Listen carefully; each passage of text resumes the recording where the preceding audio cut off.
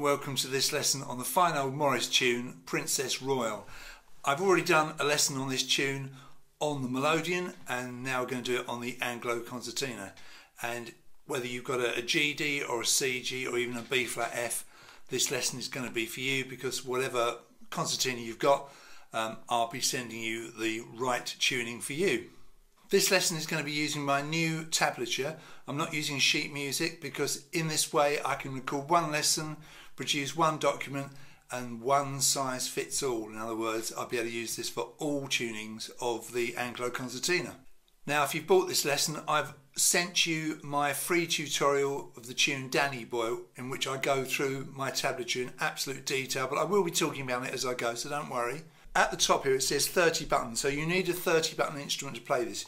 You can't really do this one if you've only got two rows, if you've only got 20 buttons. So this is the left side of the instrument, this is the right side, and the bellows in the middle. It tells us at the top that bars that are the same are 6 and 7 are the same as 19 and 20, and 9 is the same as 21, and both Jeffries and Wheatstone are ticked, so we know both those layouts are fine for this tune. If you've got a CG instrument, we're going to be in C major. If you've got a GD, you're in G major. And if you've got a B flat F, you're in B flat major.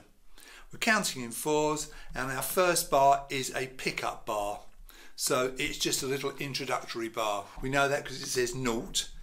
You've got two notes on the right hand side there. It's button 8, push, then pull, finger 3. There you can just hang on to the button, you don't need to press for individual notes. The A part starts with bar number one, the first full bar. Let's look at the right hand side first of all. We've got this. Now we've got button 7, push pull on the first two beats of the bar.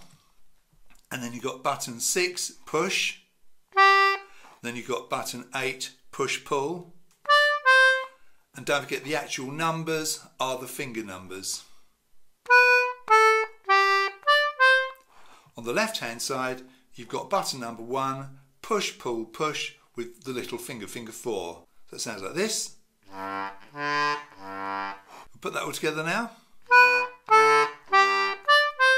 And glue the pickup bar on the front of that. Okay.